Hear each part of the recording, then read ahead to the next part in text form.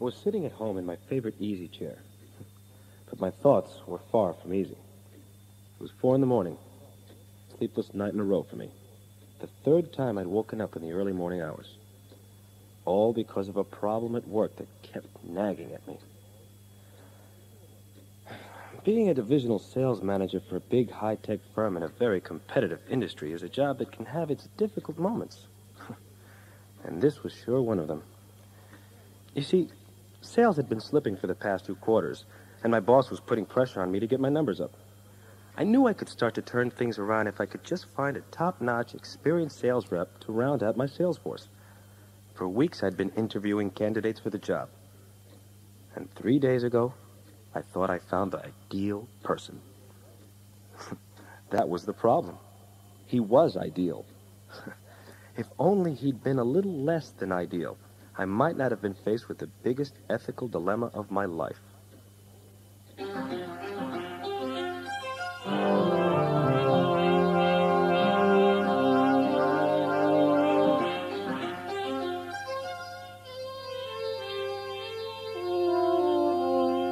I think there's a certain adjustable quality in the universe that wrong finds its own level and right ultimately finds its own level. I believe that. That's Norman Vincent Peale. Among the 34 books he's written, The Power of Positive Thinking has sold more than 20 million copies worldwide. When Dr. Peale and I first started talking, we both agreed that people basically probably know right from wrong. I mean, you can see little kids in the street, three and four years old, saying, That's mine, that's not fair, you shouldn't do that. I mean, who told them? So Dr. Peale feels, and I agree, that we kind of have some inner knowledge. But when we went back out to business people and said that, they said, Yeah, that's all well and good. But people don't act like it. And you better give them some guidelines to sort out right from wrong. That's Ken Blanchard, management consultant and co author of the best selling book, The One Minute Manager. Together, Dr. Peale and Dr. Blanchard have written The Power of Ethical Management. This cassette is based on that book and also draws from the author's first hand experience as consultants to business and business professionals throughout the country.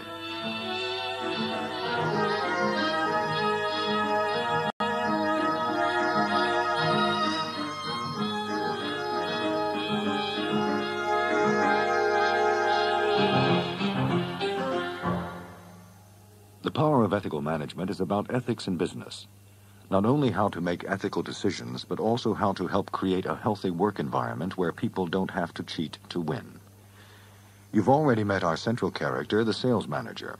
In a moment, you'll learn more about his ethical problem.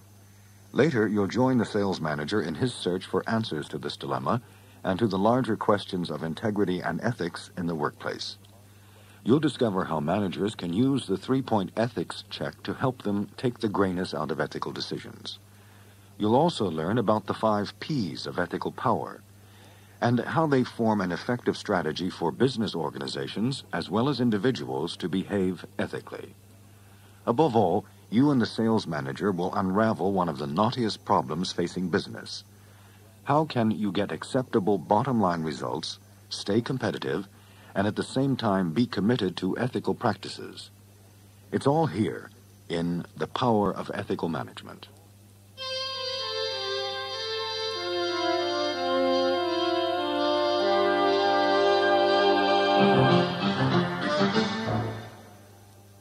After a month of interviews, the most promising applicant the sales manager had seen walked into his office. His sales record was outstanding. He knew the industry and he had just left a job with the sales manager's top competitor after six successful years. As the interview drew to a close, the sales manager had just about decided to hire this applicant.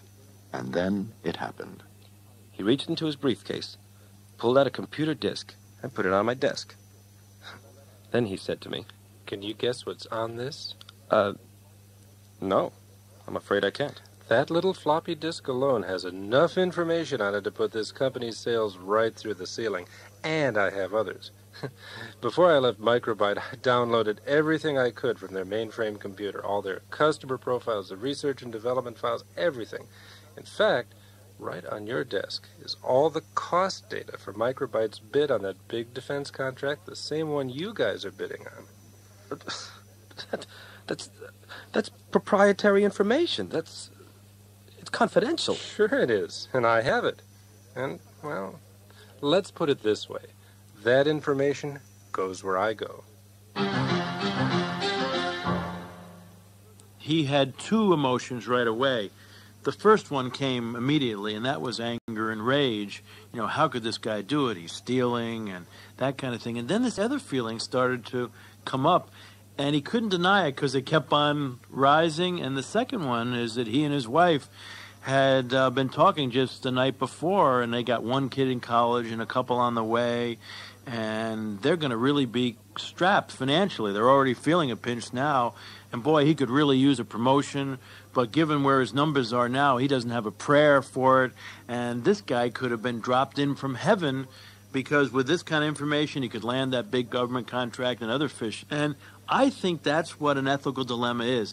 The sales manager decided to talk about this problem with one of the company's senior operations managers. He'd been the sales manager's mentor for a number of years. The older man's reply was a little bit surprising. Hire this guy before someone else does. Don't be naive. Remember the golden rule of business. Then the business golden rule is to do unto others as they would do unto you as the roles were reversed. He said our competitor, they'd hire that guy in a minute. And that kind of surprises the, this sales manager, but here's a guy that's been around a long time, and suddenly he's saying, Don't be naive. Now, all of a sudden, you put a message like that in somebody's head Don't be naive, I don't want to be stupid, and that kind of thing. So when he walks out of his office, here he's got support for hiring this guy. And then he runs into his top aide, a woman who who's uh, went to one of the top MBA programs in the country, and she looks at him and she says, uh, "You know, you look troubled. What's going on?" And he invites her into his office and and tells her the story. And she said, "You better think twice." She said, "This guy would steal from them. Imagine what he'll steal from us. And if it ever comes out you hire this guy." With this kind of information, not only is it going to hurt the company, but it's going to be egg all over your face.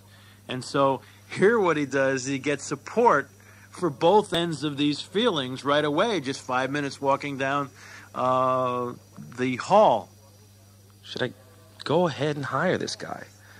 Or should I say, thanks, but no thanks? You know, another possibility would be to hire the man. After all, he is the most qualified. And just tell him not to bring his stolen information. Oh, but if I did that, how could I ever trust him to be honest once he started to work here? Then again, maybe I should just turn him in. Call his old boss and blow the whistle on him. That'd take him out of the job market and solve my problem. I knew in my heart that what this salesman had done was wrong, and I also knew that it sometimes takes guts to stand up for what you know is right. On the other hand, I didn't want to be naive. If others were doing this kind of thing, maybe I should hire him. Which of our competitors wouldn't jump at the chance to get reliable information and sales talent all wrapped up in one package? Maybe I was being naive after all. The sales manager decides to take some advice from someone outside his company. He remembers an old acquaintance from his college days. She's now working for a company that recently instituted a code of ethics and standards of conduct policy. As part of this new policy, she's been given a two-year appointment as the company's ethics officer to help with the new ethics program and related training. I was lucky that she agreed to meet me for coffee that evening. She listened thoughtfully while I told her the whole story. Finally, I asked her the question I'd been leading up to. So if someone in your company were to come to you with a problem like that, what would you suggest they do? Well, I'd give that person the ethics check. The ethics check? That's right. The ethics check is something that helps people sort out dilemmas like yours by showing them how to look at a problem from several different levels. It has three basic questions, and each one clarifies a different aspect of the situation. In other words, the ethics check helps you to take the grayness out of ethical decisions. the old everybody does it excuse. The golden rule of business. right. well, we question that logic. Our companies come to the realization that a lot of the grayness can be taken out of ethical dilemmas if you take the time to sort out the situation. It's easy to charge ahead without thinking and then rationalize your behavior afterwards. Yeah.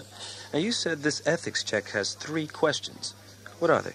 Well, eh, the first question is pretty straightforward. Is it legal? Wait, wait a minute. Let me write this down. Is it legal? Is it legal according to the prevailing law of the state or country or city or municipality? Is it according to company policy?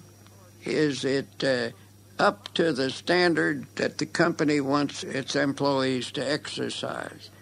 If a person isn't in business, he or she should ask the same question Is it legal civilly, or is it according to the standard one believes in? Well, is it? Well, that's one question I don't have a problem with as far as this guy is concerned. He admitted to me that he stole proprietary information. Any way you slice it, that's not legal. I agree. So the answer is no. Now, our company feels that if you do answer that first question with a no, then you can stop right there. You don't even have to consider the next two questions. But I'm not so sure I agree. What I always tell people is that they should go ahead and answer all three questions before making a final decision. What's the second question on the ethics checklist? Is it balanced?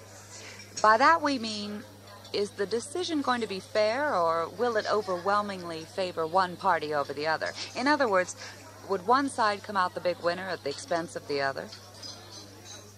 It's not that everything in life is win win, but our findings, and Norman and I agree on this, is that whenever you have a big win and somebody has a big loss, for whatever reason, but if it's particularly unfair, you not only have a potential competitor, but you have an enemy. And what usually happens is they always end up lose lose, that uh, they just don't work out. I mean, you can get somebody to sign a contract, but when they walk out of the room and they feel that I really have been taken to the cleaners, the energy of around implementation, everything just falls off. So this balance question is around fairness. So, if I decide to hire this sales rep and use his inside information, there's no way around it. That would be a big win for our company and a big loss for our competitor. That's right. And when it becomes clear what happened, what do you think your competitor will do? Uh, look for ways to get even, I guess. Right again. Let's say they start asking themselves what information they can pirate from you or uh, which key people they can hire away from you. While the two of you are playing one upmanship with each other, a third competitor could come along and pass you both by. Or you, you both could end up giving your entire industry a bad name. Well, I wish I could trust our competitor not to hire one of our people if the tables were turned. But if the question is, is it fair for me to hire this guy and use his stolen information? The answer is pretty obvious. So even though I've racked up two no's, I'd still like to know what's the last question on the ethics check? For many people, this is the clincher. How will it make me feel about myself? That's the big question, the one everyone who's making an ethical decision should ask. How does it make me feel about myself? Uh, I'm sorry. Maybe I don't understand, but I thought you were talking about doing what's right regardless of how it makes you feel. I mean, uh, I guess I don't understand why that's even a question. This all gets back to why we chose three questions. The legal question gets you to look at existing standards, laws and company policy, for instance. The second question gets you to think about your own sense of fair play and rationality. And this last question makes you concentrate on your own emotions and your own feelings about morality. So, if I understand what you're saying, you're suggesting that if I do something that I basically know is wrong, I can't help but feel bad. Exactly. Basically, an unethical act will erode your self esteem, and you can use that self esteem as a gauge to help you decide what's right. The same is true with questions like uh, how would I feel if this were published in the paper with my name all over it? Or uh, would I like my family to know about this? It follows that if you do right, you're going to feel right. So we might philosophically say that self esteem isn't important, but self esteem is inherent and it responds to right thinking, right actions. So even if you don't think it's important, you're going to get enhanced self esteem if you do what you think and believe is right. People dealing with the whole issue of ethics training in companies are finding that the ethics check questions can give managers the guidance and support they need to make the right choice. And the more you use the ethics check, the more it can guide you into a pattern of doing the right thing that becomes habit forming. Answering these questions isn't going to necessarily make people behave any better, but if they ask them, they're going to be real clear, at least in the gut, what is the right alternative, and I think the grayness will go out of, of the decision. But all three questions as a package, I think, is important rather than just saying it's a legal issue, uh, because I think that by itself isn't as powerful as when you add a fairness question and a self esteem question.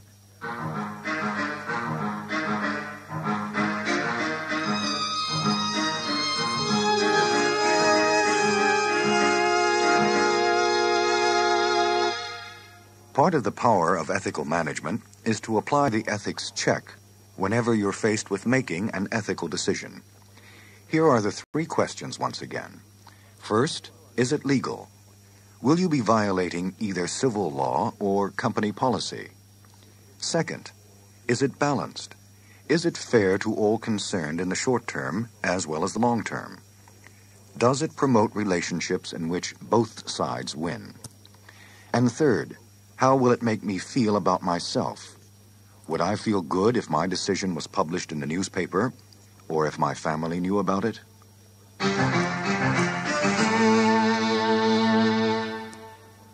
As a high school student, I worked in a grocery store after school and on Saturdays in Greenville, Ohio. The owner of the store heard me promising something to a customer one time, which he thought was unethical. So he called me from the back of the store he said, Norman, excuse yourself from Mrs. So and so a minute and come back. I want to show you something. And he got me in the back room and he said, Now, son, what you've said to that customer isn't right. And I think you're ignorant of the situation, so let me straighten you out. Now you go back to her and correct yourself, and she may purchase or she may not. Either way, it's okay with me. And I think a manager in a store or in a business affects the ethical experience of his employees and affects the happiness thereby of their lives. So he mustn't let them do a wrong thing if he can help it. Like Dr. Peale, the sales manager in our story felt that it's important to set a good ethical example. The next day, he called his salespeople together and told them what had happened. He announced his decision not to hire the sales rep, with or without his stolen information and he discussed his own beliefs about ethical behavior. But the sales manager also found himself caught in a dilemma between doing what's right and facing the reality of an unsympathetic workplace. To him and to other managers at his level, the message from above was loud and clear. I don't care how you get the results, just get them. His dilemma now was how do you stick to your guns and really do what you know is right? And he came home with his wife and said, you know, on driving home, I realized that the toughest thing about being ethical might be this doing what is right rather than deciding. And he said, I don't know who to turn to for advice. And she said, well, why don't you go see an advisor, friend of uh, my parents. He was a minister and he's an advisor to people, obviously a Norman Vincent Peale type character. Because he's been so helpful to my mom and dad, and I'm sure he would be willing to talk to you. He's a real positive thinker. And so, since he really feels he has no place to turn, he takes her advice and calls you know, what we describe in the book as the advisor to see if there's something he could learn there. Good. Good to see you. Come How on. are you? How are you? I've been expecting you. Thank you. I'm sorry I'm a little late. No the traffic, right? You know, you know how it no can be. Problem. But it's very nice. To when I arrived at the advisor's office, a man with a friendly face and a warm handshake greeted me. The advisor was as enthusiastic and lively as my wife had described. Everything about him and his office made me feel at home. It's clear to me that you have a real challenge in front of you. You know, when I've been faced with similar problems in the past, I've found that it helps to remember that the worst ethical problems are actually the biggest opportunities for us to grow. How's that? Well, look at it this way. We have the freedom to choose to live ethically or to choose to live otherwise. Having this freedom to choose and exercising it with integrity actually makes us strong. It's a little like building up physical strength.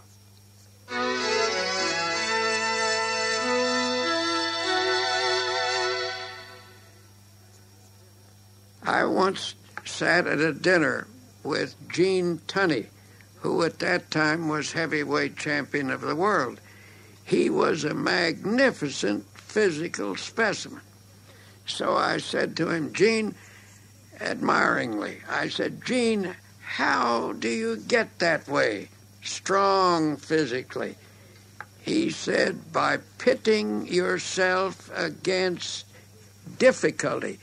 All exercise is pitting yourself against resistance. That's the way you grow muscle strong. Now, ethics is the same thing.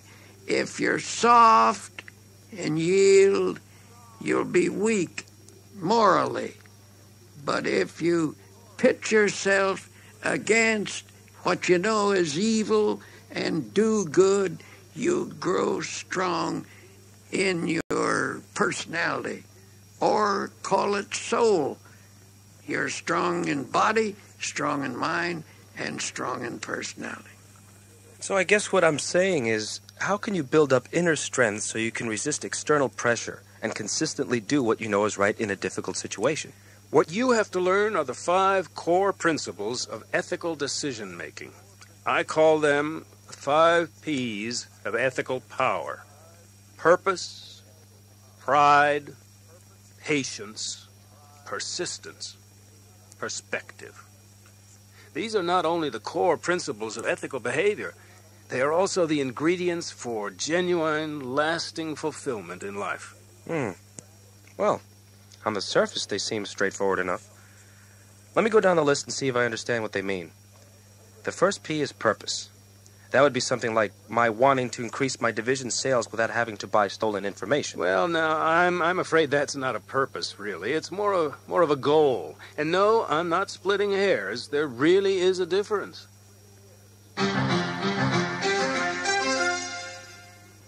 A goal is something you want to attain, something that's off in the distance, an objective you've set for yourself. That's a goal. And that's very important, and everybody should have goals. But purpose is, you might say, the central motivation of your life. The goal should correspond with the purpose to be relevant. But purpose, why am I alive? What am I supposed to do in the short time I have on earth. That's your purpose. And your goal might be a salary of uh, $100,000 a year. And then you'd have to ask, does this correspond with my purpose? And will my purpose justify what I do to get that salary?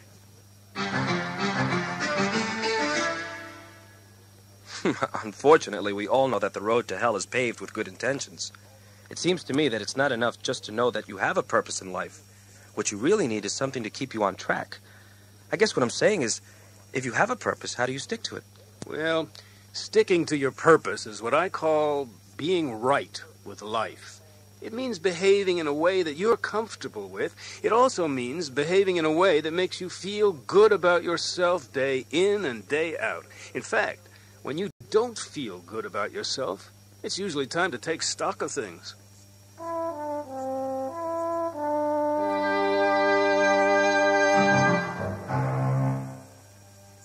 Have to remind yourself this is my purpose. And I've been a little careless lately. So you get back on the track mentally and character wise. I had a man that was a natural born salesman, but he didn't believe in himself, and therefore he wasn't living up to his potential. I told him, I said, Bill, every morning when you're shaving, you look yourself in the eye in that mirror and say, I am somebody, and with God's help, I can go out today and have a good sales record. Well, he said, I couldn't do that. What would my wife and kids think? I said, they'd think you were becoming quite a man. Well, he became one of the best salesmen I ever knew by doing that. The mirror test. Now, when you talk about the mirror test and feeling good about yourself, it sounds like you're talking about pride, which is the second P on this list. Now, pride. I was always taught that pride goeth before a fall. in other words, isn't pride something to be avoided? Well, what I mean by pride in this context is more of a feeling, like the sense of satisfaction that you get from your accomplishments, as well as the accomplishments of people you care about, like your family or your staff. But honest pride, real pride, regular pride, is the same as self respect, self esteem. I'm in the speech making business. And if I go out and do a bad job of making a speech, I'm not on, I talk 40 minutes and work myself up into a sweat and don't say anything. And if I go out and say, well, they gave me pretty good applause, so I must have been good. That's false pride. If, however, I really work at that speech and give them a solid performance, whether I get big hand and standing ovation or not, I can walk off the stage and on my way want to wash my hands and look into the mirror and I say, boy, you gave them the truth. Then I can walk out there head high with a feeling of pride. I think what you want is pride sprinkled with a fair amount of humility. Someone once put it this way People with humility don't think less of themselves, they just think about themselves less. wait, wait a minute. I've got to write that one down. And the problem with people with false pride is that they tend to regard themselves as the center of all things. Every difference of opinion becomes a win lose confrontation. And since their pride can't allow them to lose, their egos go out of control. no kidding. Sounds just like my boss. In fact, that's why I didn't go to him for advice. He'd do anything to make a sales quota because he's afraid of looking bad if he doesn't. He always needs to be right, even when it's obvious he isn't. So all of his people, myself and the other sales managers, have stopped giving him feedback because whenever we do, he takes it as criticism and he yells at us. Kind of pathetic, isn't it?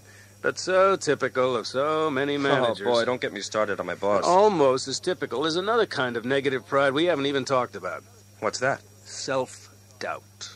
You might say that's sort of the flip side of false pride.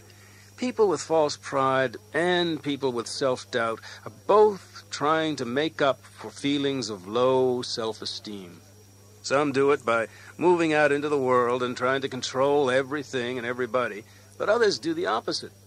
They continually downgrade themselves in an attempt to be liked and accepted by others. They don't want to make waves or stand out in a crowd, and they certainly don't stand up well under pressure to do something unethical. That's what I call self doubt, or having an inferiority complex.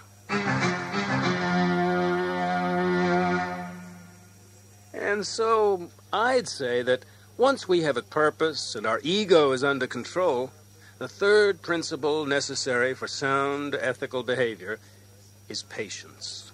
Patience? You're telling me that I should sit back and let the competition walk all over me while I wait for my boss to become ethical? No, that's not what I'm saying at all. An ethical person has patience in the long term outcome of his or her actions. Call it faith, if you will, although spiritual faith is just a part of it but it's faith in the process of ethical decision making. Even though they make the right decision, people often want immediate reassurance they did the right thing. And without faith in their own judgment, they often sabotage the future, as I like to call it. They second guess themselves and undo what was a good decision. They don't have faith in the process. Well, it's tough to have patience these days when instant gratification seems to be the rule. And I think it's especially difficult for a middle manager someone who's supposed to be results oriented and have a lot of drive.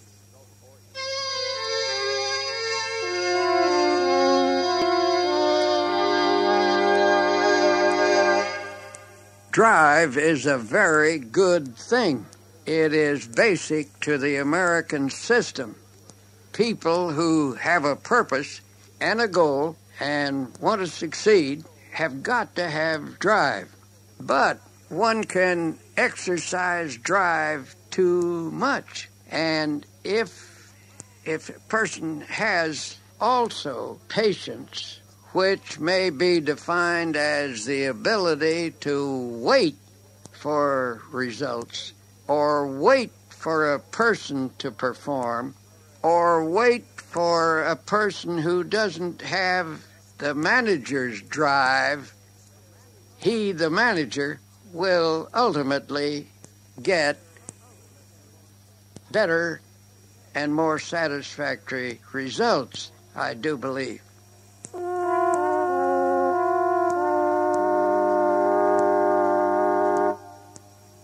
The first step to becoming more patient is to become aware of what I call a more universal timing which may or may not be the same as your own. Of course, this speaks to a belief that there is something greater than ourselves. Call it God, or spirituality, or an ultimate concern, whatever. The point is that you begin to realize that there may be a timetable of events other than your own. When you have patience, you understand that if you do what is right, even if it costs you in the short run, it will pay off in the long run. Anyway, I think the lesson of patience for an ethical person is summed up best by a new twist on an old saying.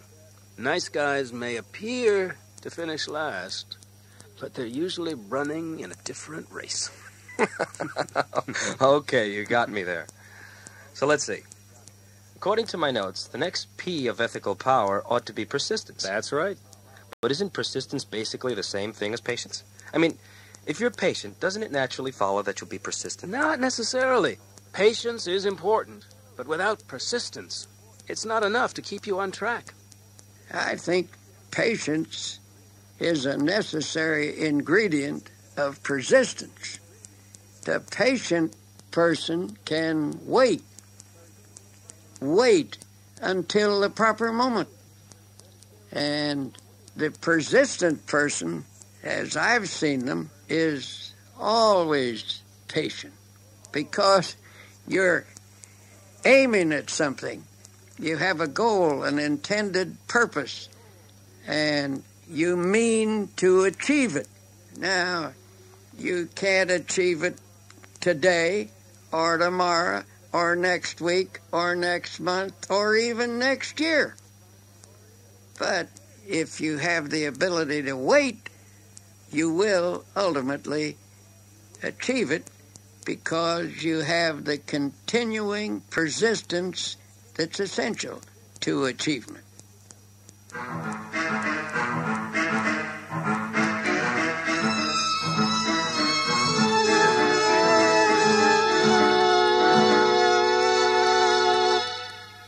So when you talk about persistence, you're not talking about trying to do something. You're talking about actually doing it. Exactly. In fact, I like to tell people that trying is just a noisy way of not doing something. When you're committed, you find ways to suppress your rationalizations. Even when it's inconvenient, you keep to your moral commitment. When I talk about persistence, I'm talking about this kind of ethical toughness.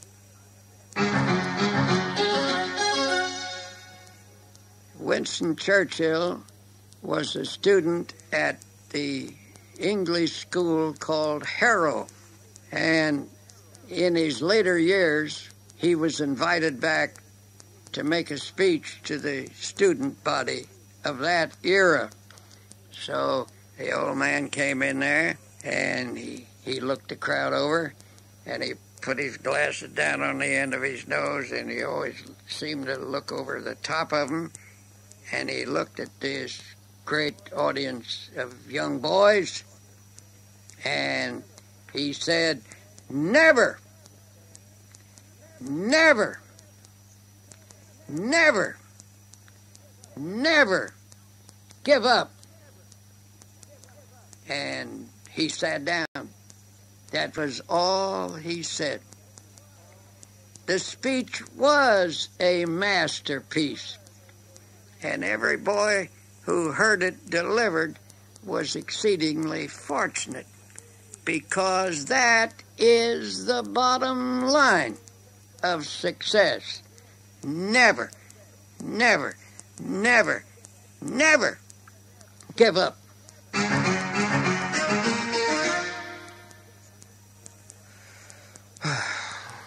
I don't know. The more I learn about these five principles of ethical power, the more I realize it's going to be quite a challenge to become an ethical manager. Well, maybe the last one will help you put the whole thing into perspective. In fact, the fifth P of ethical power is perspective. Perspective is the capacity to see what's really important in any given situation. Sometimes at lectures, I use the illustration of a wheel to show how the five P's of ethical power relate to each other. And perspective is the hub around which the other four P's rotate. It's a central place from which you can oversee the other four principles and maybe take a look at other parts of your life as well.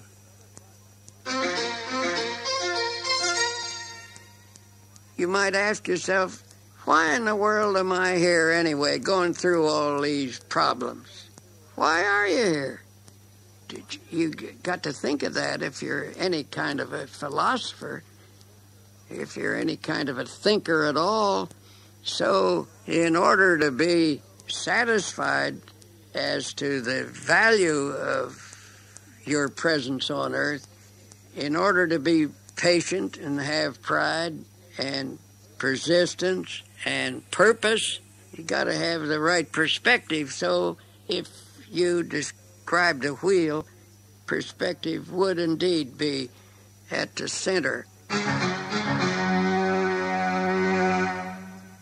Hey, you don't have to convince me. I think it's great to have that kind of balance and fulfillment you were talking about. But how can you find it? How can you get a perspective on things? By making sure your inner self wakes up each morning. you look a little confused. Well, first, you have to understand that we all have two selves, really. There's our external self, which is task oriented, it's directed outward toward getting things done. Then there's the inner self, which is more reflective and thoughtful. It's concerned with meaning and values and finding significance in life. Now, the inner self takes longer to wake up in the morning than the external self. In order for that to happen, you have to put yourself into a reflective state of mind. Now, that might mean setting the alarm a little earlier. I know it's tough for busy people to find quiet time in the morning. It's the price they pay for success. But to have a fulfilling life, you have to take the time to maintain your perspective.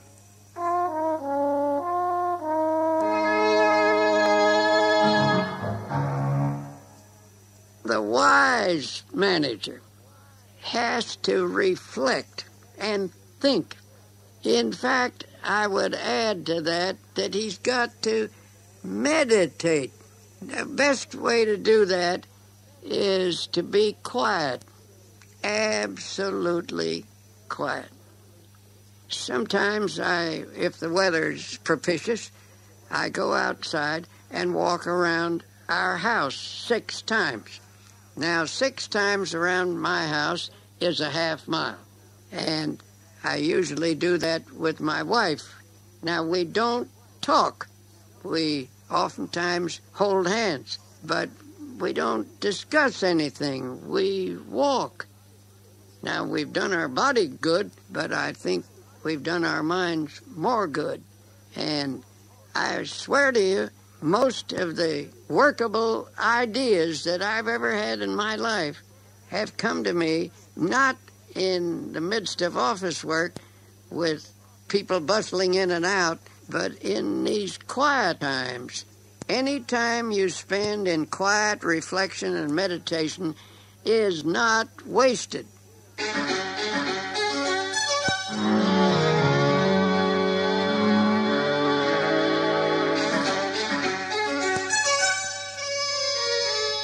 Once again, here are the five principles of ethical power.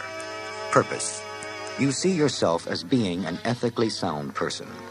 No matter what happens, you're able to look at yourself in the mirror and feel good about yourself. Pride. You feel good about yourself and don't need the acceptance of other people to feel important. A balanced self-esteem keeps your ego and your desire to be accepted from influencing your decisions. Patience. You believe that things will eventually work out well, and you don't need everything to happen right away. You're at peace with what comes your way. Persistence. You stick to your vision, even when it's inconvenient. Your behavior is consistent with your intentions, and you never, never, never, never give up. Perspective. You take the time to enter each day quietly, in a reflective mood. This helps you get more focused and allows you to pay more attention to your inner self. For Dr. Peale, this is the key to perspective. The perspective include the cultivation and education and respect for the inner self is not a substantial perspective. On the second side of this cassette, our sales manager tries to put these five principles to work at the office. Along the way, he meets a management consultant who tries to help him answer the most difficult question of all. Is it possible to stay competitive in business today and still operate honestly and ethically?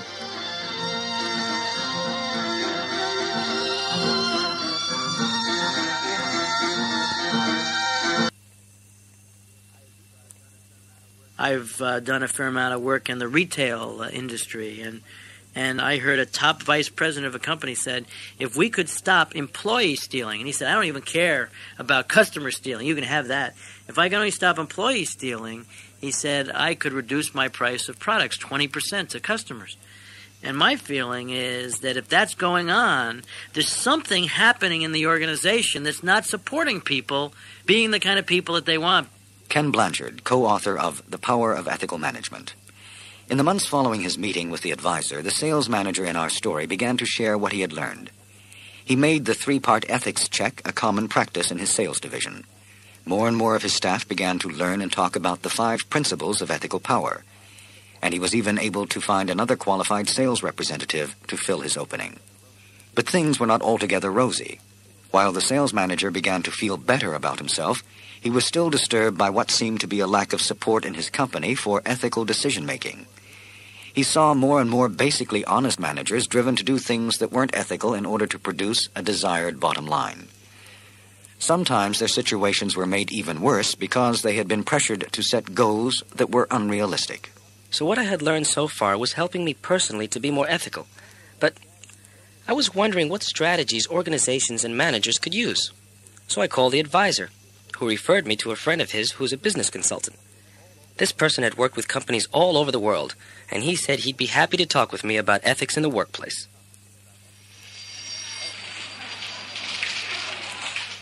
So, I understand you're interested in business ethics. Well, yes. I've been talking to people in my division about the five principles of ethical behavior. You know about them? Oh, yes. Well, I've been trying to sort things out in my own department. But when I look around the company, I see basically honest people stealing, lying, cheating. and covering up. I can't believe they do those things outside the office, but when they're at work, it seems like justifiable behavior. So, what I want to know is how can I try to help the company turn this kind of thing around? You know, it's amazing. The more I work with organizations, the more I'm convinced that it all comes down to how people feel they're being treated by the company and its management, not just employees, customers too. You know the Fortune 500? Sure. Well, my dream is that someday someone will publish a list of the fortunate 500 companies. I got that concept from John Naisbitt, who wrote uh, Megatrends. And John said he had a dream that someday there would be a list of fortunate 500 companies. And that to be a Fortunate 500 company didn't necessarily have to do with the volume of sales and the gross profit and all kinds of things, but had to do with the quality of life available to employees and the quality of service given to customers. And so when we talk about Fortune 500, we're not talking about a company that's not profitable and not effective because it has to be.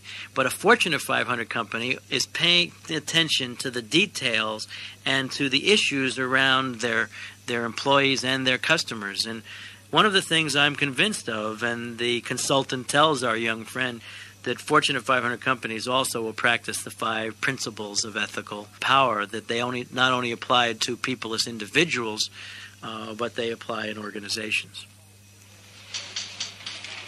So you think the five P's of ethical power apply to organizations too? Absolutely. When I was in Japan a few years ago, I heard a talk by the chairman of the board of Matsushita Electric. He was then, oh, about 88 years old. Just a kid. right. Anyway, one of the executives I was with asked him a question. He said, Sir, what is your primary job as chairman of the board of this great international company? And without hesitation, he said one of the most interesting things I've ever heard from a top executive. He said he was the soul of his company. Through him, the values pass. And I really like that concept of soul. And that's that belief that the first P, purpose in organizations, where does it start? It starts at the top. It starts with the vision, the mission. Now, people at middle and supervisory levels can support that, but it's pretty hard for the mission and purpose of an organization to start at the bottom and move up. So it's really that whole thing of, of coming down and that whole concept of, of soul is a neat way to think about purpose in organizations. You know, what business are you really in? What is the mission of the organization? And I think organizations that are ethical, organizations that have people behaving ethically, have a clear mission from the top. And this sense of purpose could be expressed in a company's mission statement or in a code of ethics and standards of conduct policy. Any examples of this? Do, do you know of any fortunate 500 companies? Oh, sure. I hear good stories every day. There are lots more ethical managers out there than the scoundrels and cheats you hear about. Because we don't tend to make celebrities out of the good guys, we just aren't aware of them as much. I'll never forget uh, with Hewlett Packard. Early on in their existence, they had an opportunity to have a, a million and a half dollar contract with the government that they could have turned around that product in nine months, but they would have had to hire thousands of people and then lay them off nine months later. And Hewlett and Packard, Bill Packard, said, I'm sorry, that's just not the kind of business we're going to have. We don't operate that way. And I was sitting in a plane recently from Hewlett Packard, and I said, Is that kind of thing still true?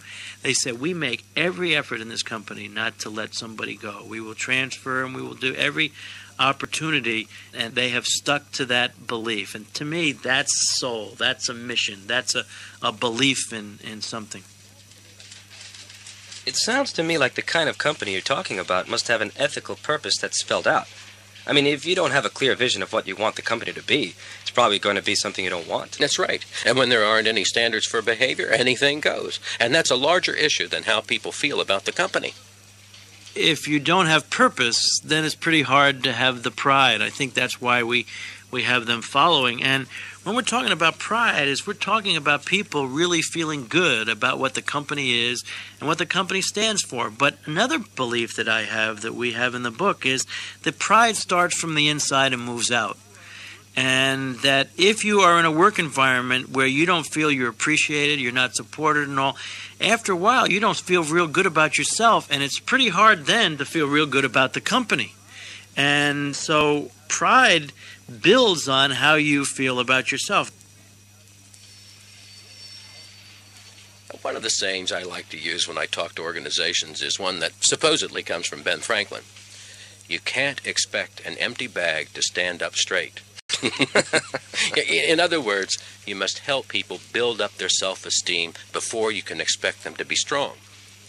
What often happens in organizations, the purpose is not clear, and then people run around catching people doing things wrong and beating on them and all, and then they say, be loyal. They say, and the thing just doesn't work.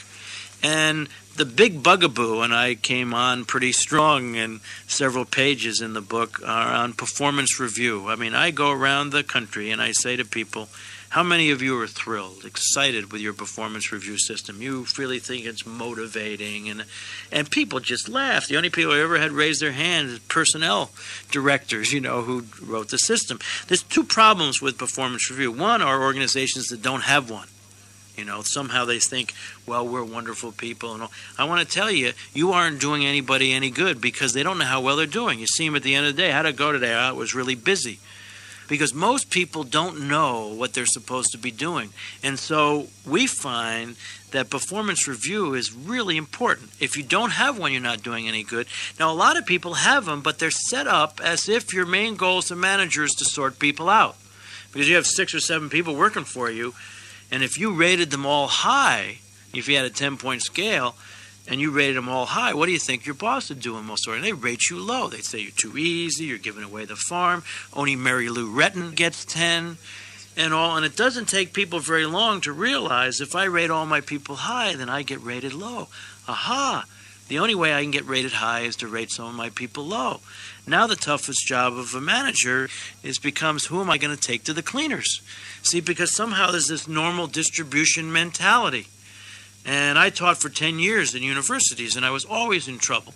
I was investigated by some of the best faculty committees. And the thing that absolutely drove the faculty crazy is the first day of class, I always give out the final exam. And the rest of the faculty say, What are you doing? And I say, I'm confused. And they say, uh, You acted. I said, Well, I thought we were supposed to teach these kids. You are. But don't give them the questions in the final. And I'd say, Not only am I going to give them the questions in the final, what do you think I'm going to do all semester? I'm going to teach them the answers. So when they get to the final exam, what do they get? They get A. Life is all about getting A's, not some damn normal distribution curve. I mean, the things start to get into vicious circles where what we find is an effective performance review system has clear performance planning where purpose and goals are really clear out front, including of how you're going to measure them. Then day to day coaching. What is day to day coaching? Teaching them the answers and then performance evaluation when you sit down and look. And what happens is most companies start with evaluation. They get a, some stupid form, and then they might set a few goals, but the one thing that nobody ever does is day to day coaching, which is I'm on your team.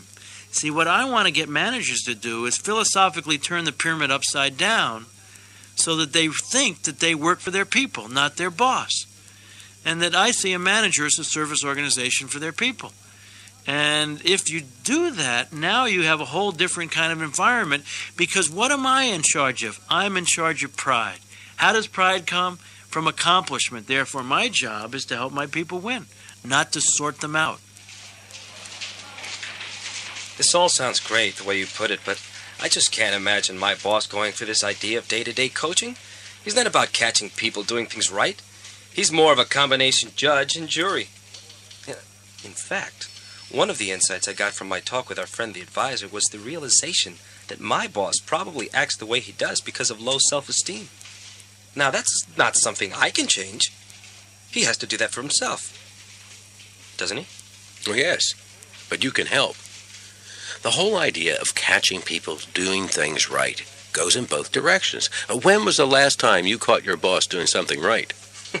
You're not serious. Oh, yes, I am. If your boss doesn't think much of himself, then it's logical that those feelings can be reinforced by the way his people treat him. I'm sure the minute he sees you coming, he gets ready for a win lose power struggle. Why?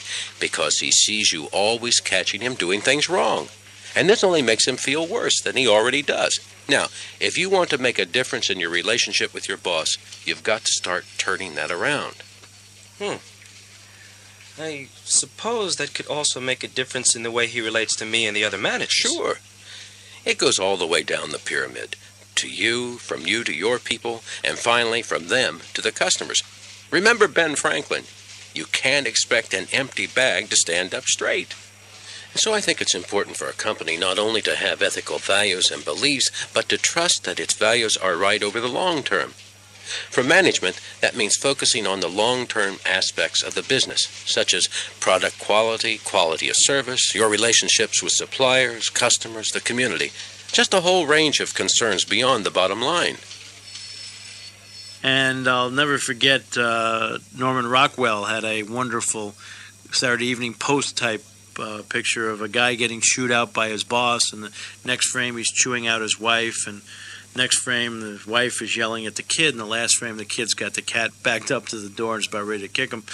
And what happens is that if you think of an organization as a pyramid, you feel all of the pressure moving from the top down onto these people, middle and supervisory managers.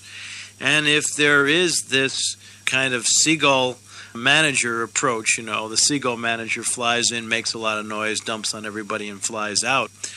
What happens is people feel under tremendous pressure down there to figure something out because they don't see any way out because they feel the weight coming down uh, on them. And that's a tremendous dilemma. And I think that's where organizations really need to take a hard look. So, sound ethical practices happen in organizations that have the patience to trust the decision making process and not take shortcuts, make compromises, or whatever to get the short term results. If you go around the established process to get the quick results, look what happens. Say you cut services to customers or employees in order to save money.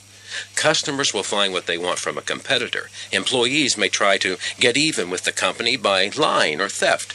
Why? Because customers and employees feel they have been treated poorly. So, how do you turn around a situation like that? Very slowly.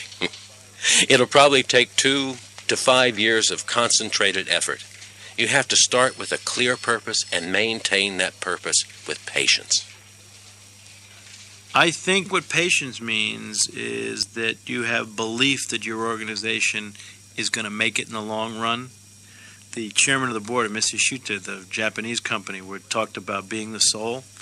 Somebody also asked him whether they did any long range planning, and he said, Yes, we do. And I said, Well, how long is your plan? He said, 250 years.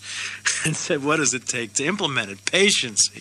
And uh, I think if a company gears themselves up for being around for the long haul and being of service to people, now the whole up and down trend in the economy and all these kinds of things aren't as important because you are built up to to last. And now you can be patient. If, if business comes the example we use in the book came from a couple of young heads of a company in Skaneateles New York, where I go in the summer, Bill Allyn and Lew Allyn, and uh, I was talking to them, and they just had said just recently they had turned down a million and a half dollar offer on a government contract on a product that they had that passed government regulations on quality but didn't pass their own.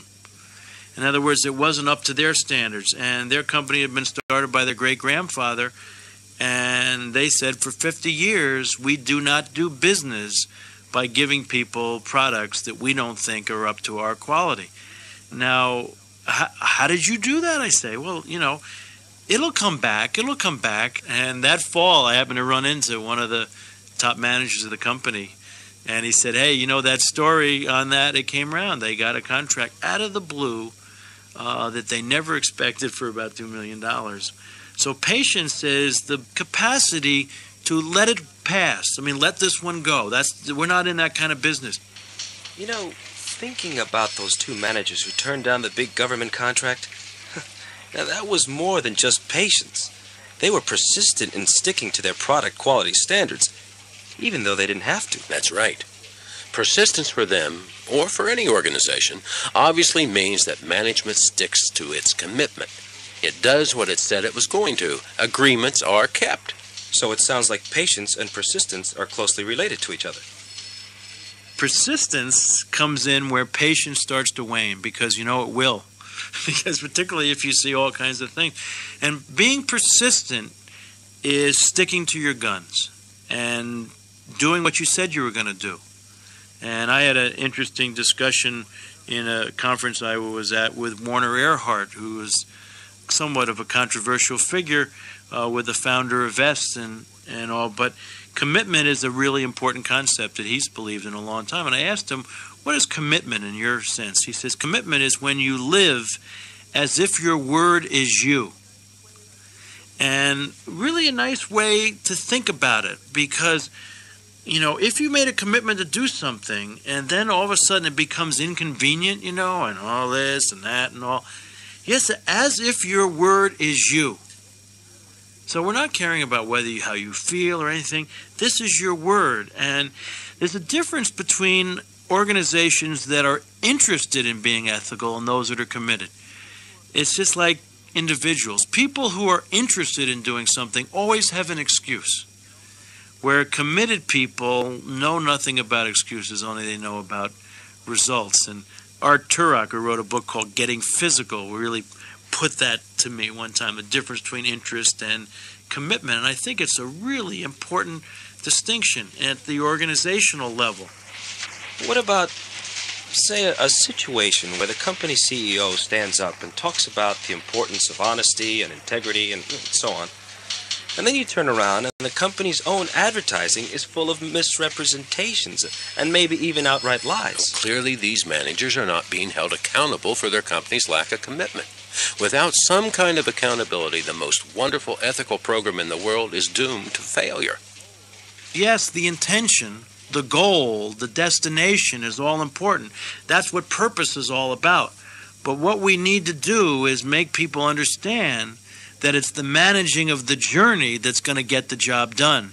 And so often we don't take that in consideration. We say, okay, we're going to do something differently now, and that we announce it, we have a big day and everything, and then nobody ever manages the journey.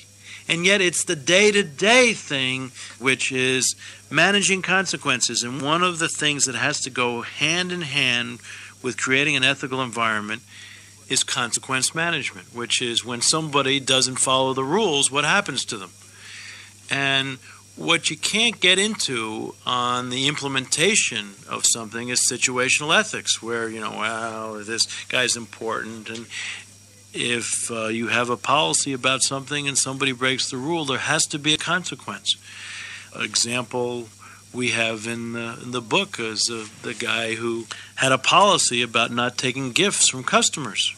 And uh, he made a national search to get a top guy uh, in this uh, particular job. And uh, he happened to go by his office, and, and the phone rang, and nobody was around. This was his boss, and he picked the phone up, and the guy said, I just want to tell you I'm glad the contract has been closed. We're looking forward to doing business with you, and your case of wine is on the way. And so when he came back later, when the guy was there, he said, "What's the story on that?" And he said, "Oh," he said the guy was excited about it. And he said, "What can I get you?" And I just, in a kiddingly way, said, "You know, a case of wine." He said, "What are you going to do with the wine now?" He says, "I'm going to send it back." He said, "Right." And he said, "I just want to tell you."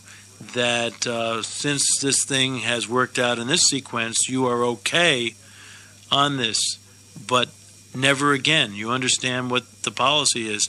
And in fact, uh, about three or four months later, he had to fire the guy because the guy was was doing those words spread out. I mean, are you going to have a policy or or not? And see, I think organizations are enterprises that have goals to be accomplished, and people are individuals who have needs to be satisfied. The way you get a productive, motivating environment is to make deals with people, which is if you will help me on this, then I will help you get this. If you follow the code of ethics, and if you do that, then you get to partake in the benefits of this organization. If you don't, then there are consequences. Sounds to me like it can be a little bit dangerous to have a management consequence program. I mean, take the case of wine story. I know what it's like to have to make a nationwide search to fill a key job, and then to have to fire that person. You have to go through the whole process all over again. You could be backed up for months. That's true, and that's the kind of decision you have to make early on when you decide to be ethical. You have to ask, is this company going to be ethical all the time or just when it's convenient? Because if the answer is when it's convenient, then there's no point in having an ethical policy. In the case of Wine Story, the general manager felt that he had to stick by the ethics code and standards of behavior policy of his company. And he stuck to his guns, and he was accountable. Now, sometimes you do lose out in a big way, but I can tell you case after case where a big short term loss was evened out in the end by a company that stuck to its guns and remained accountable. Beautiful example of standing by what they believe is Johnson and Johnson with the whole Tylenol thing, which was McNeil Lab, and here the people contaminated people, and not one time did Johnson and Johnson do anything that suggested that the customers were not number one. And you look at the mission statement around Johnson and Johnson and service to customers, service to doctors and all for the health of the people in this country is a number one purpose. And I think any other company that did not stick persistently to what they believe would have gone out of business. And it didn't only happen once, it happened twice. And every time they stuck to their immediately took it off the market, and we'll do this. And the American public says, my God, they believe in what? And you know, Tylenol is right back up there, uh, uh, leading the pack again, and that kind of thing. And there is an example. They lost billions. I mean, it was big time. I mean, it wasn't just a minor thing there, and that's what organizational persistence is. That Johnson and Johnson started with their family, and that belief, and they they say, "Well, but you know that was wrong. Something happened, and we're going to safety of the customer and the health of the customer comes number one."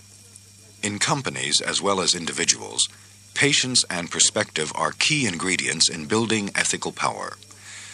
On this side of the cassette, the sales manager has learned how the ethical business believes its values will lead to success in the long run.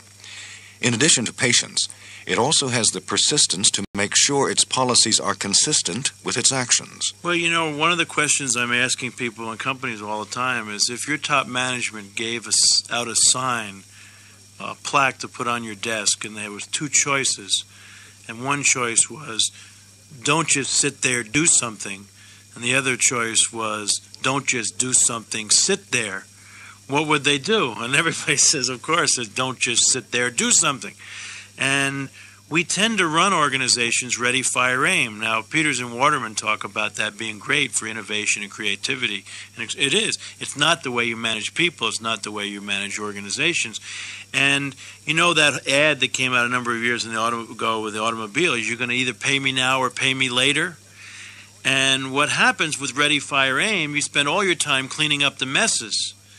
And uh, where I love that saying, if you take care in the beginning, the end will take care of itself. And so often we just don't take that caring time in the beginning. We don't take the pausing time to think and step back and put things in perspective. That's what perspective is. So when you're talking about perspective in an organization, what you're really talking about is planning. Sure, to a large extent. Planning in the sense that an organization takes the time to lay the foundation for its future success by looking at where it is and its strategy for where it wants to go. But I'm also talking here about a choice of how to make decisions. For example, I've seen a lot of managers who are rapid fire decision makers. They spend very little time planning or reflecting, and they cut other people out of the process. And because they don't take the time to reflect, to balance the pros and cons, to get additional information, or talk to other people, all too often their decisions are not balanced. Yeah, I know all about that management style. Doesn't do much to promote any kind of commitment, does it? No, and without commitment from your staff or your employees, it's very hard to implement a decision. So the shoot from the hip kind of manager often spends a lot of unproductive time putting out fires caused by the results of an unpopular decision. Very unproductive.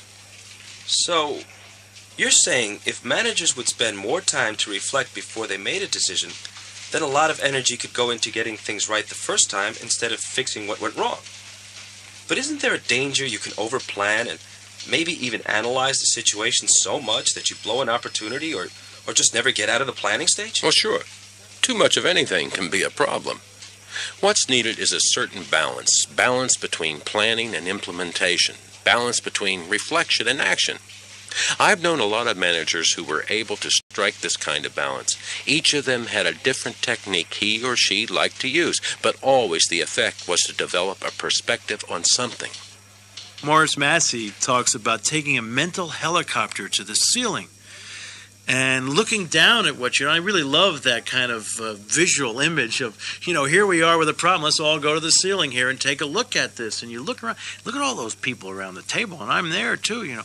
And how do you do that? I had one manager that has a wonderful suggestion that I have tried a few times, and unfortunately, I'm on the road and too much to really implement it uh, the way I'd like to. But he said whenever he gets a major decision or a problem that he has to deal with, he calls all the important people that either have information or are going to be important in the implementation together to talk about the problem. And he says the first part is give me all the information. Everybody gets it all. When he finishes, he says, okay, we're going to now move to solution.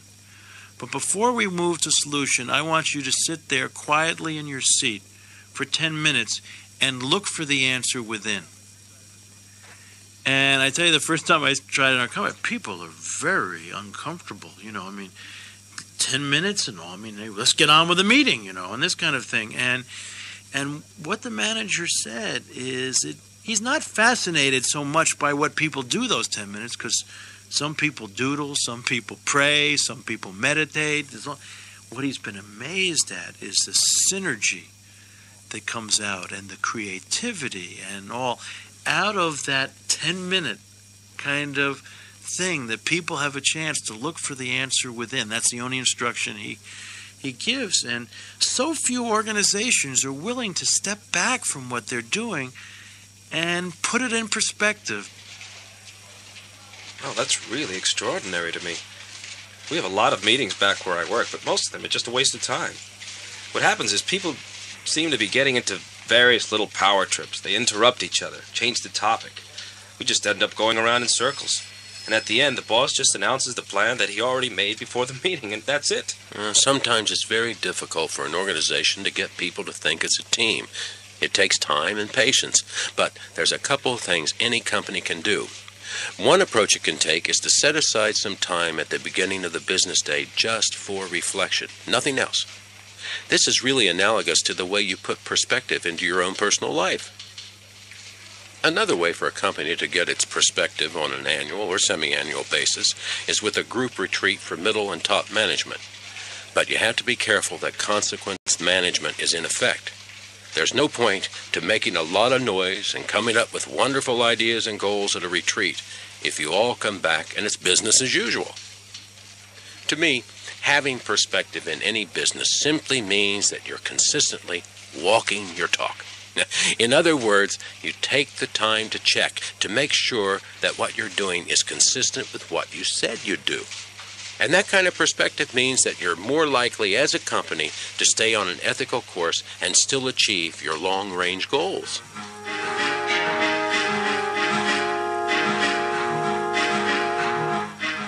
As the sales manager in this story has learned, the five P's of ethical power can form an effective credo for ethical behavior in organizations as well as individuals. Here is one way a business can summarize these five principles into a company credo that might form the basis for an ethics code and standards of behavior policy. Number one, purpose. The vision and the mission of our organization are communicated from the top. Our organization has a soul made up of the values, hopes, and vision that guide us and help us to determine what is acceptable and unacceptable behavior. Number two, pride. Our people feel proud of themselves and our organization. These feelings are at the root of our behavior. We know that when our people feel this way, they can resist the temptation to behave unethically. Number three, patience. We believe that actions in keeping with our ethical values will lead us to success in the long term. This involves maintaining a balance between obtaining results and caring how we achieve those results. We have faith that things will work out in the long run if we act according to our beliefs. Number four, persistence. We have a commitment to live by the values, hopes, and ethical purposes communicated from the top. We are committed to commitment. We make sure our actions and policies are consistent with our intentions. Number five, perspective. Our managers, our employees, and our organization as a whole take time to pause and reflect, take stock of where we are, and evaluate where we are going and how we are going to get there.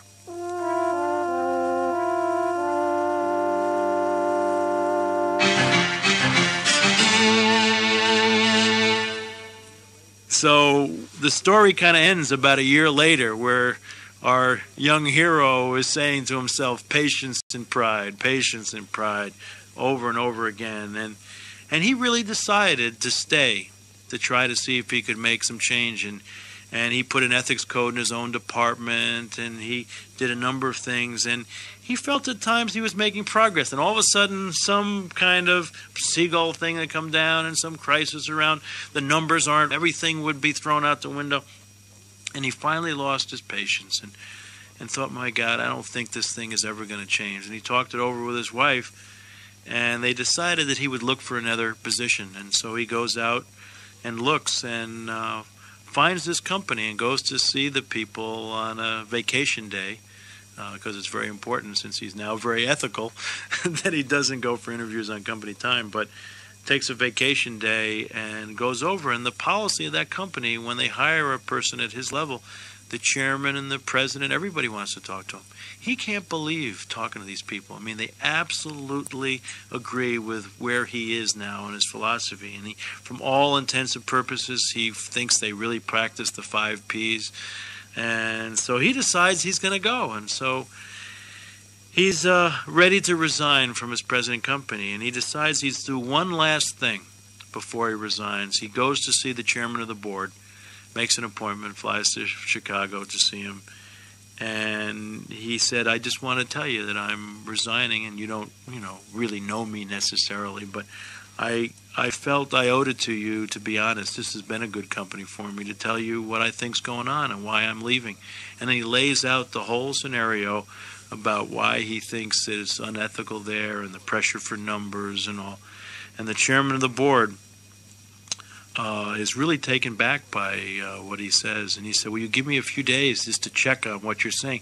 Please don't resign yet. Give me a chance to get back to you. And, and about three days later, he gets a call at 10 o'clock at night from the chairman. He said, I've checked things out, and you're absolutely right. And I've talked to the president and other people, and we'd like you to stay. We want to create a new position where you will be directing a whole effort to change the organization and where we're going in terms of our ethical behavior. And so now our young man at the end of the story is confronted by like the lady and the tiger kind of analogy where he has one choice to go to a company that's completely consistent with where he believes it'll be a very supportive environment it's a very good job and now the other choice is to stay and see if he can really turn it around. Uh, which would you do?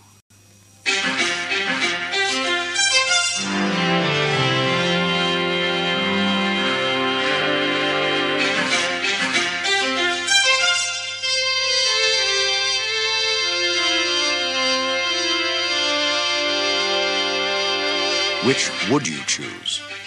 There is no right or wrong answer to that question. But even though you may not be a sales manager or even work in a business at all, the situation is common and the choice is real. Many people face tough ethical decisions every day. The temptation is often to rationalize unethical decisions. Those rationalizations can be as varied as the people who invent them.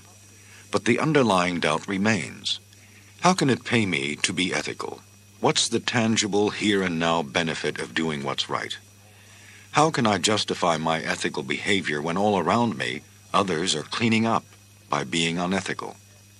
I sometimes think of this as the bottom line generation.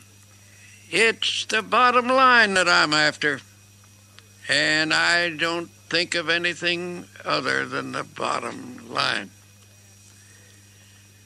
Maybe that phrase is well fashioned because it sometimes is the bottom.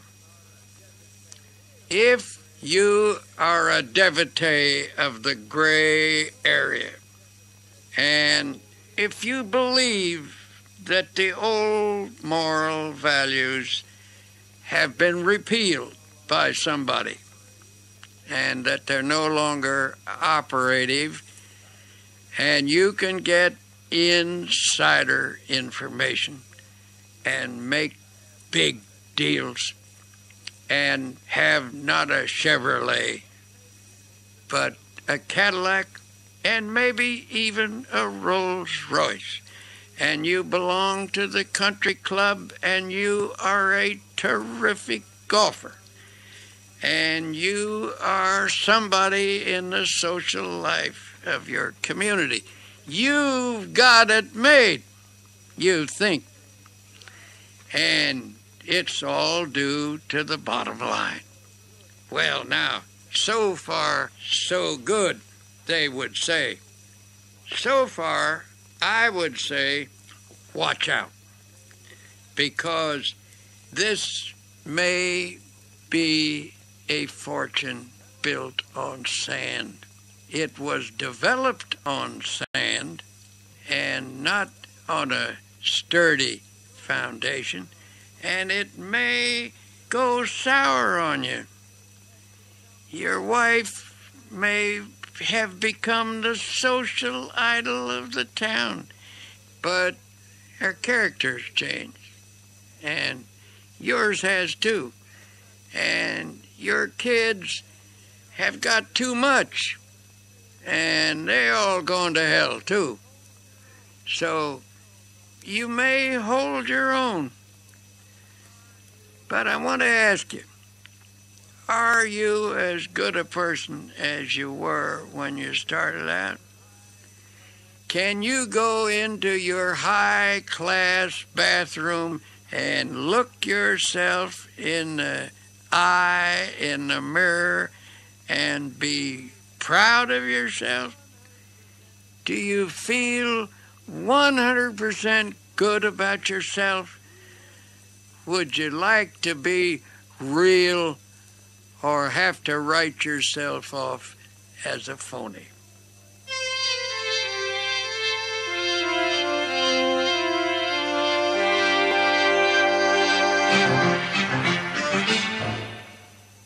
At the end of the power of ethical management, the sales manager is faced with the choice of staying where he is and trying to make a change, or switching jobs and joining a Fortune 500 company. But the ending could have been different. His efforts at bringing ethical values to the workplace could have been disastrous to the success of his own career. Instead of choosing which of the two jobs to take, what if the sales manager had been out of a job altogether? Ken Blanchard feels that the ending might have been changed, but the character of the sales manager would not. Success is a real sneaky problem that a lot of people don't think about, and that failure and trauma and all these kinds of things is you got a choice. Am I going to do something about it or not? And I think the book would have ended with this guy saying, Damn it, I'm better than this. I mean, I have made mistakes and all, but you know, I stood for something I believed, and to me, that's still important. And uh, it might not have turned out right, but damn it, I'm going to get back on purpose, and I'm not going to sit here and and say, you know, it's a rotten world and all, because there's a lot of rottenness in the world. There's a lot of unfairness, you know. I mean, it never was supposed to be easy. And uh, I think he would have then uh, had to pull himself up by the backstreets or stay on the ground. And that's, I think, the way it would, would be that the choice would have ended. What would you do? Stay down, kill yourself, die, be miserable, or decide today's the beginning of the rest of my life and get back up and say, now what am I going to do? I'm not going to forget what my beliefs are.